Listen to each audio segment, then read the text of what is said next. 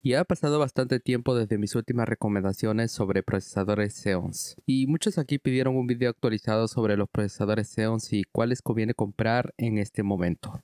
A día de hoy los precios están decayendo poco a poco y podemos conseguir algún que otro procesador interesante en caso de que ya tengas una PC china armada. Pero antes, un anuncio de nuestro patrocinador. Si necesitas activar tu copia de Windows 10, puedes hacerlo comprando una clave OEM. Hookcase.com es una tienda online que vende claves originales para Windows. Luego de registrarte, solo eliges la licencia de Windows 10 y lo envías a tu carrito de compras. Usando mi código obtendrás hasta un 30% de descuento. Tienes varias formas de pago a tu disposición. Luego de haber hecho tu compra, tu clave aparecerá en la bandeja de tu cuenta. Lo activamos y listo ya tendrás tu clave de Windows 10 activada. Activa tu copia de Windows 10 de manera más segura con una clave OEM. Más información y links en la descripción.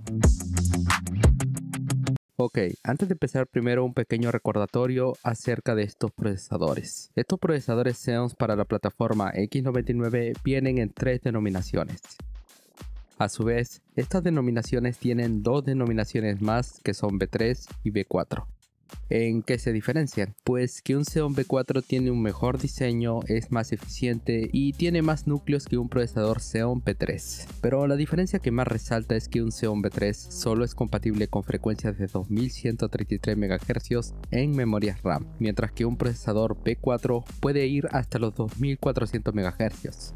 Vamos a dejar de lado estos procesadores y nos quedaríamos con estos los procesadores 1600 P3 y P4. Con estos modelos puedes aumentar su frecuencia relativamente fácil y son los modelos por excelencia para juegos o trabajos donde se necesite poder mononúcleo. Y por si te lo preguntas, estos modelos no son compatibles con hack de Turbo Boost.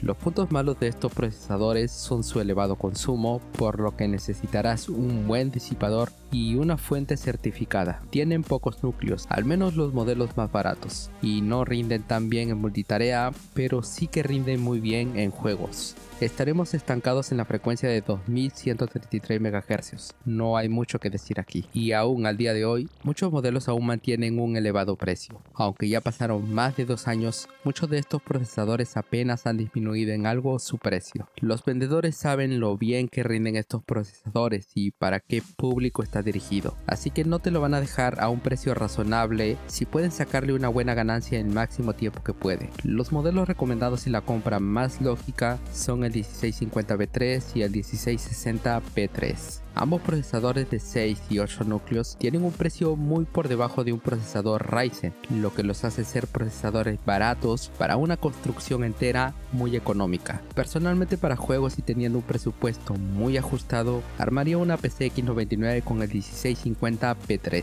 Por 42 dólares no encuentro otro procesador más actual que le saque una gran ventaja a este procesador de 6 núcleos. Además, son fáciles de overclockear y fácilmente pueden llegar a 4.5 GHz de forma estable en la mayoría de placas chinas. Aunque muy calentones, son procesadores muy buenos, siempre y cuando aceptes los puntos malos que arrastran estos modelos.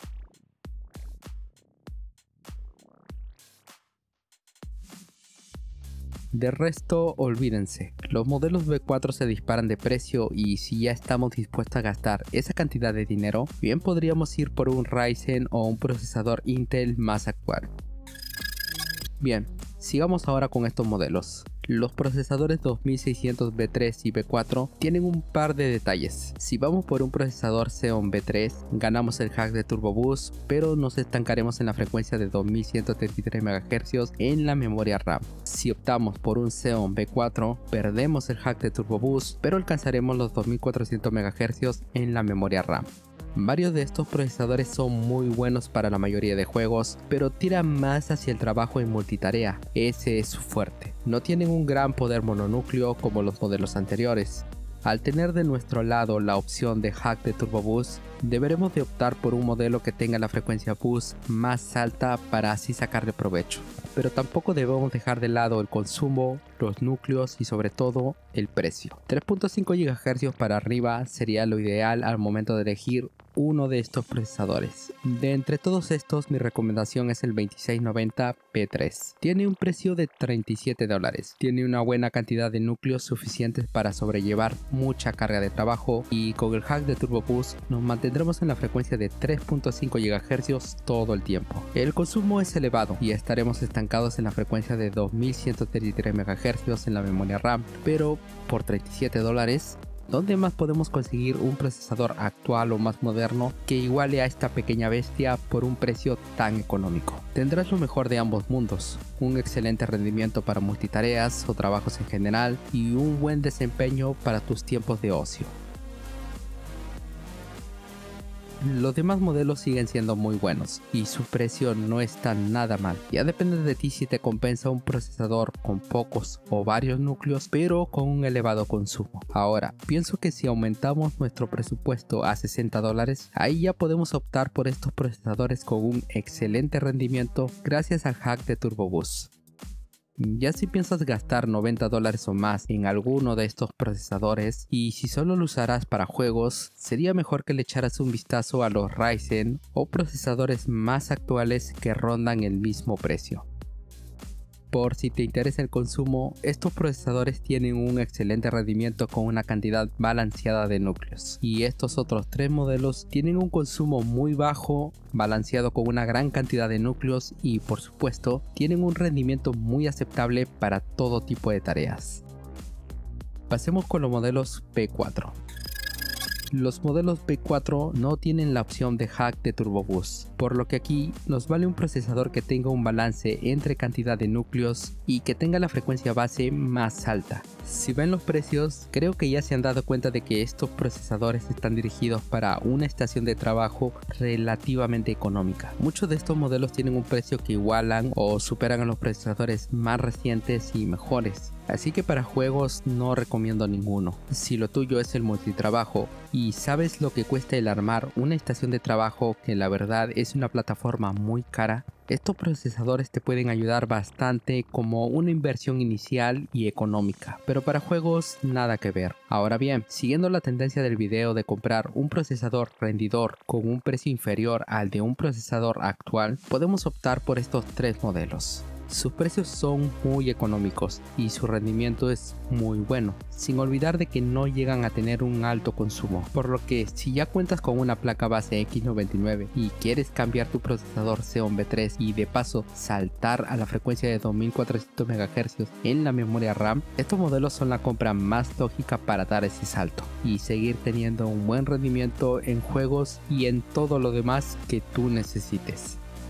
Y si te interesa un procesador con un bajo consumo, aquí tienes estos modelos. Personalmente recomiendo el 2630 y el 2640 P4. Ambos tienen un precio muy tentador para tener una administración de trabajo que no consuma demasiado. Y bien, eso es todo. Quiero que sepan que si los vendedores no bajan pronto los precios de la mayoría de los procesadores Xeons, esta plataforma pasará a ser relegada por otras plataformas más modernas y digamos más actuales. Como una plataforma económica para juegos, aún sigue siendo una excelente opción. Aunque estos procesadores Xeons fueron procesadores enfocados a servidores, no deben de olvidar de que también muchos de estos modelos fueron vendidos en estaciones de trabajo de alto rendimiento, como el 2687W P4, que venía en los Pro Mac del 2015 y también en otras PCs ensambladas de marca HP, Dell, etc., que tenían un elevado precio por lo que muchos de estos procesadores P3 y P4 y algunas placas bases X99 chinas se venden como una estación de trabajo de bajo presupuesto y créanlo o no, se venden muy bien para ese propósito. Para juegos no tanto. Así que por ese pequeño motivo veo muy difícil que muchos de estos procesadores Xeon P4 bajen de precio en un futuro cercano. También, como se habrán dado cuenta, he tratado de recomendar varios modelos que no sobrepasen los 60 o 70 dólares, ya que a partir de 90 dólares ya empezamos a ver procesadores Ryzen o procesadores Intel más modernos que ya rondan ese precio. Y estos procesadores tienen a lo mucho 2 o 5 años de antigüedad. Mira, incluso el Ryzen 5 5500 fue lanzado este mismo año y podemos encontrarlo por casi 90 dólares sin disipador. Para aquellos que ya tienen su PC China X99 y quieren hacer el gasto de 100 o 150 dólares para extender la vida útil de esta plataforma y de paso ganar un poco más de rendimiento por unos cuantos años más, pueden hacerlo. Es una buena idea, ya que en lugar de armarte una PC completa y lidiar con los gastos que conlleva hacer todo eso, cambiar solamente el procesador sería un único gasto. Pero para aquellos que recién estén a punto de entrar a esta plataforma, pueden hacerlo comprando los modelos de procesadores que he recomendado en este video, ya que varios procesadores rondan los 20 dólares como mínimo hasta 60 o 70 dólares máximo. Pero si desean gastar más e ir por un procesador Xeon más caro es su decisión. Personalmente yo daría el salto a otras plataformas más modernas y que ya están compitiendo en precio con esta plataforma X99. Si tú tienes algún procesador que recomiendes, házmelo saber en los comentarios para echarle un vistazo. No tengo un conocimiento detallado sobre los procesadores Ryzen o sobre los procesadores Intel más actuales, pero en estos últimos meses me estoy informando todo lo que puedo acerca de estos procesadores más modernos y que cada día van disminuyendo de precio, incluido las placas bases para estas. Mis próximos videos serán recomendaciones de plataformas más modernas y ya estoy viendo qué nueva PC económica voy a armar para un próximo video. Eso es todo, nos vemos. Para mostrar más componentes baratos de PC, puedes unirte a los miembros del canal. Ellos son los miembros del canal. Gracias a su apoyo, me ayudan a traer más componentes baratos de PC para mostrárselos en el canal. Muchas gracias por su apoyo. En serio, mil gracias.